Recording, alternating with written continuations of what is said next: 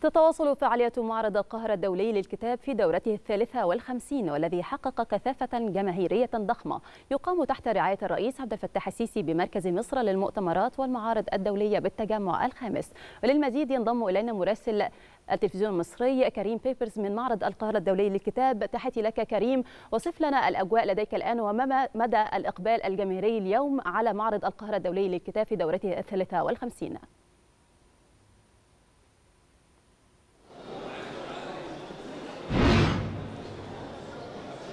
نعم تحياتي لك تحياتي لجميع مشاهدي القناة الأولى التلفزيون المصري. بالفعل الإقبال كبير جدا في ازدياد ملحوظ جدا عن الأسبوع الأول في معرض الكتاب في نسخته الثالثة والخمسين. ربما اليوم هو الأكثر إقبالا الأمس فقط كان هناك الإقبال وصل لما يقرب من 300 ألف زائر فقط أمس لمعرض الكتاب في نسخته الثالثة والخمسين واليوم ربما يعني حسبما رصدت ستكون الأعداد تقريبا متماثلة أو ربما في ازدياد أكثر من أمس. ربما هذا يرجع بالطبع لانتهاء الامتحانات وإجازة نصف العام للمدارس وأيضا للجامعات. هذه نقطة. أما النقطة الثانية على مدار الأيام حضرنا الندوات التثقيفية المختلفة هنا في معرض الكتاب ولكن اليوم هي ندوة خاصة وفريده من نوعها وهي ندوة عن كتاب الراحل الكاتب الكبير الأستاذ ياسر رزق بعد أن وافته المنيه في أول أيام معرض الكتاب أو قبل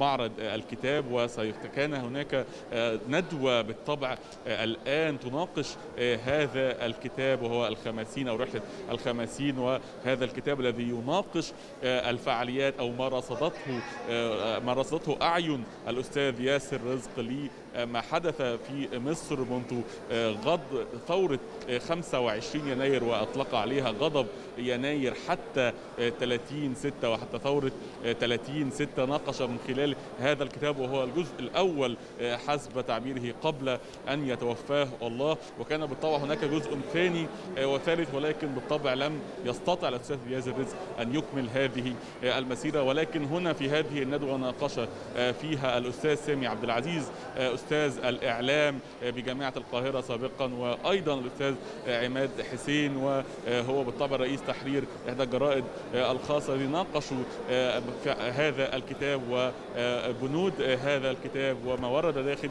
هذا الكتاب وحضور كثيف ربما من أكثر الندوات حضورا في حقيقة الأمر في معرض الكتاب. ولكن أيضا على الجانب الآخر هناك ندوات خاصة بالإعلام وتأثيره على المجتمع بشكل عام ومناقشة القضايا المختلفة تقام هذه الندوة في جناح الأزهر هنا في معرض الكتاب. وإذا تحدثنا في نهاية الأمر عن الإجراءات الاحترازية الخاصة خصوصا في الإقبال المتزايد الكبير جدا في معرض الكتاب في الأسبوع الثاني. وقبل أيام من أن يغلق معرض الكتاب أبوابه لمحبي القراءة والثقافة هناك بالطبع توجيهات دائمة من مكبرات الصوت لالتداء الكمامات وفي المحاولة توجيهات أيضا للتباعد الاجتماعي خصوصا في ظل هذا الازدحام الكبير. ولكن هذا المعرض في هذه النسخة المختلفة يضم الكتب والثقافات من جميع الأعمار من جناح الطفل وحتى كبار الكتاب والشباب. شكرا جزيلا مراسلنا كريم بيبرز كنت معنا من داخل مقر إقامة معرض القاهرة الدولي للكتاب في دورته الثالثة والخمسين.